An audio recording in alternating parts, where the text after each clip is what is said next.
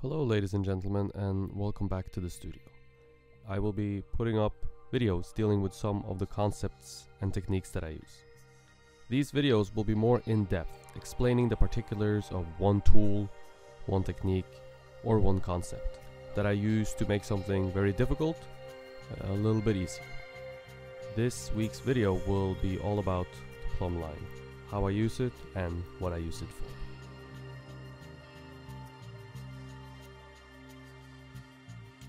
If you want to learn from me how to sculpt or perhaps just support the channel, then check out my Patreon page.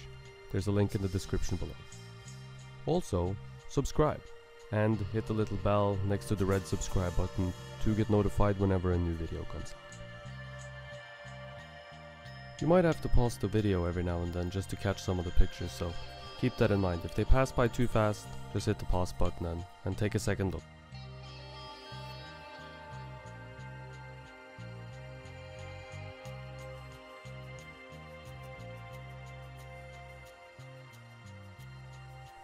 So, what is a plumb line?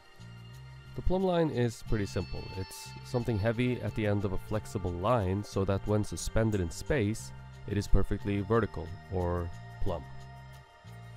The plumb line is essentially a tool to help make vertical measurements, making sure that said measurement is perfectly vertical.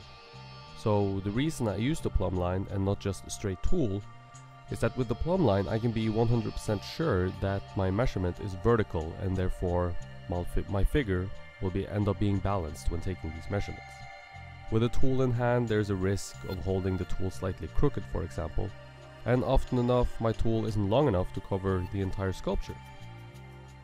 Now this obviously depends a little bit on how far back from your sculpture your space allows you to go and how big your sculpture is. Many people I know do not use the plumb line, because a tool with a straight edge pretty much serves the same purpose. I, however, find that the plumb line eliminates many of my mistakes and allows me to do the measurements once or twice, and it gets rid of a lot of double checking that I would have to do if I use a tool. So, it speeds up my process a little bit, which is why I use it. Now, this brings me to what I use the plumb line for, and there are many things actually, but it's in the beginning when balancing your figure that this tool really comes into its own. And this also pertains very specifically to PT Part 1, which you can watch if you follow the link in the top right corner.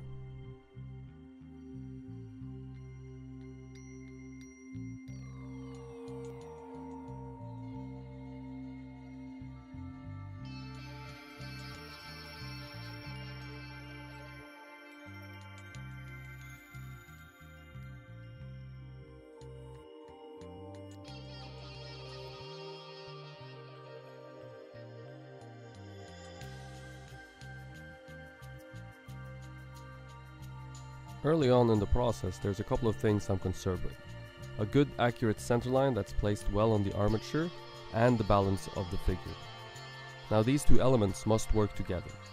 Let's begin with making sure the immovable core of my armature is covered in clay and that my center line is placed well so that there is equal distribution of clay on either side.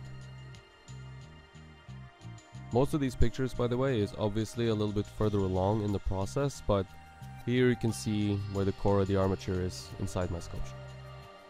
It's pretty close to the center, which allows for equal distribution of clay on either side. I do rough measurements to figure out where the pit of the neck goes, the pit of the neck being the end of my center line, the top end of my center line, and the pit of the neck is, is right here, at the top of the chest, where the chest and the neck meet. I triangulate its position doing this measurement, the overall height of the figure from the base. This measurement from one pelvic point, also known as the ASIS, and this measurement from the other pelvic point. Then the overall length of the sternum or the breastbone then the bottom of the breastbone to ASIS number 1, and then ASIS number 2, And I use all these measurements to have many sources confirm my suspicion. None of these are gonna be 100% accurate by the way, with the exception of the length of the sternum. And all it really does, it, give, it gives me an idea of where to place the pit of the neck. The pit of the neck can definitely be moved, but at least now it won't need to move a lot, hopefully.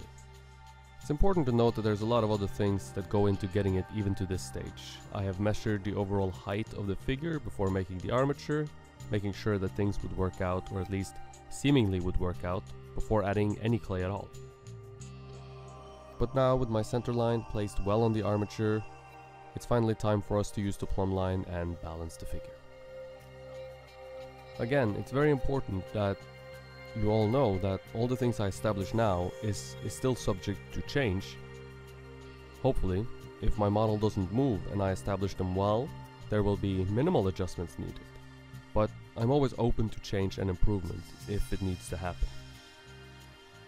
Now, hopefully it won't, and so far, it seems to have been working out okay. I'm not copying my model exactly and I'm definitely taking a few liberties with this sculpture, but I find that this technique can help you so you won't have to be chasing the model the entire time. Some chasing of the model's position is obviously necessary, especially in the beginning, but often you have to set yourself up well structurally and then apply the model's features to your structurally sound setup. Otherwise, I find that you can end up chasing an ever-changing moving model forever and never end up with a finished product.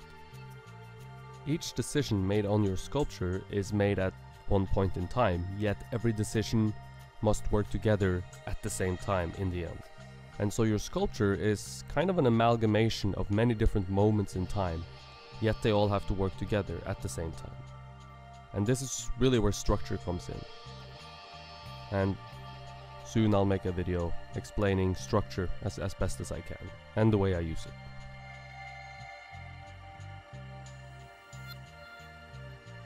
So now it's time to take measurement that we've been talking about with my plumb line and to figure out the balance of the figure. And just so you know, this is really what the video is about. So I start off with the front view. Because my center line is placed more or less where I want it on the armature, I won't move that to fit the balance of the figure. What I'll do instead is that I'll adjust the flexible leg armature so it sits underneath the pit of the neck, which is what the measurement with my plumb line shows me, is that the pit of the neck and the ankle are in line, more or less. Usually if the model is in a contrapposto, meaning most of his weight is on one leg, which is the case here, the pit of the neck will line up with the stand leg ankle. Now, if it's the inside or the outside of the ankle, that changes from model to model and pose to pose.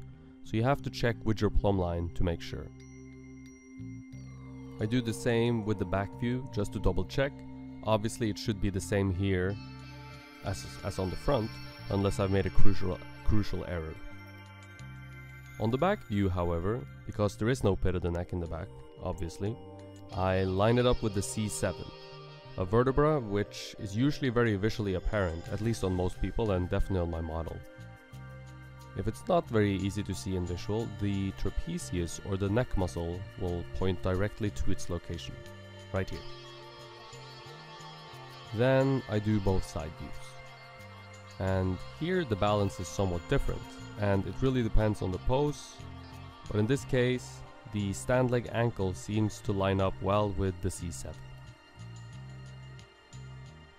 And so now my sculpture is balanced and the stand leg is placed where it needs to be placed in accordance with my model. I also at this point check where the center line passes through the plumb line, especially around the pelvis. This way I can double check if the plumb line and the center line seems to make sense with each other.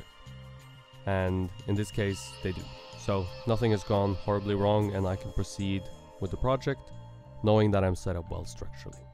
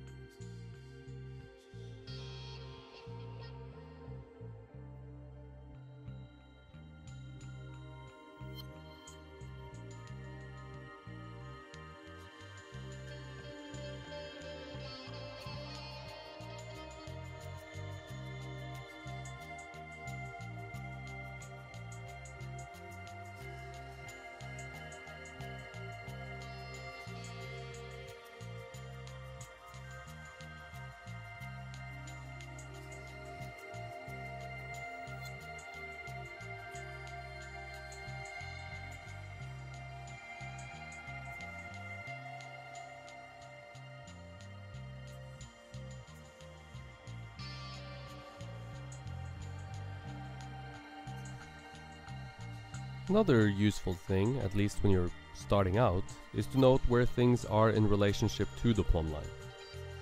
Look here how the plumb line passes along the inside of the knee and how far to the left the thigh above the knee sits. Now this tells us something about the tilt of the stand leg, the gesture of the stand leg.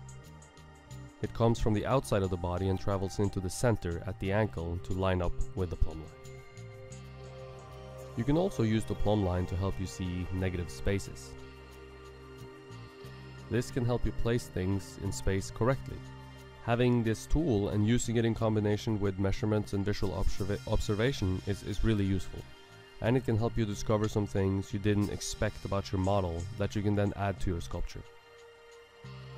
For me, a lot of this stuff is, is now somewhat ingrained and I don't need to discover all of it. But it's useful for a beginner and even to double check things that you struggle with. Always double and triple source your questions if possible. Having several tools in your toolbox to check and double check the same thing is always very useful. I hope you enjoyed the video and if you did I encourage you to check out my Patreon page. I give feedback and critiques on people's work and we talk about whatever you need help with in your sculpting endeavors. There are several rewards, one of them being the maquette for this very sculpture, so check it out, the link is in the description below. Thank you for watching and stay tuned for a new video next Thursday. Subscribe and hit the bell to be notified whenever a new video comes out.